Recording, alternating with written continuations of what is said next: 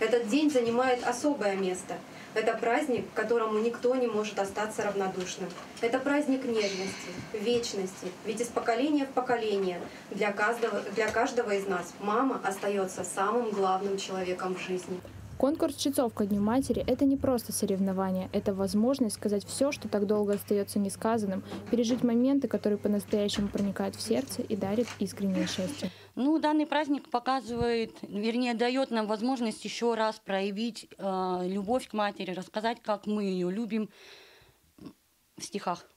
Нами было составлено положение, которое мы разослали по всем школам нашего города – к нашему счастью, откликнулись все а, школы, детский, детский сад один. А, у участников было настолько много, что нам пришлось конкурс разделить на два дня. Все два дня наших конкурсантов оценивали компетентное жюри. Татьяна Варламова, берегите маму, берегите маму, радуйте, лелейте.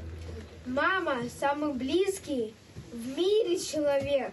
В этом конкурсе каждая читаемая строчка пронизана глубочайшими чувствами, сильным внутренним желанием отдать дань почтения нашим матерям и поблагодарить их за все, что они делают ради нашего счастья. Стихотворение «Счастливый ребенок». Я учила его по две недели. Этот стих мне выбрал мой воспитатель Юлия Романовна. Прости, я порой их не слушаю. В упорстве моем равных нет. И когда я стану постарше, я буду звонить каждый день. Ты трубку поднимешь? Доча, что нового расскажешь теперь? А, главное для чтеца – это подобрать стихотворение. А уже как его выучить, если оно тебе понравится, то это будет уже легко. А вот ударения, паузы и многое другое мне уже одному не осилить. В этом мне помогла моя учительница Екатерина Ивановна.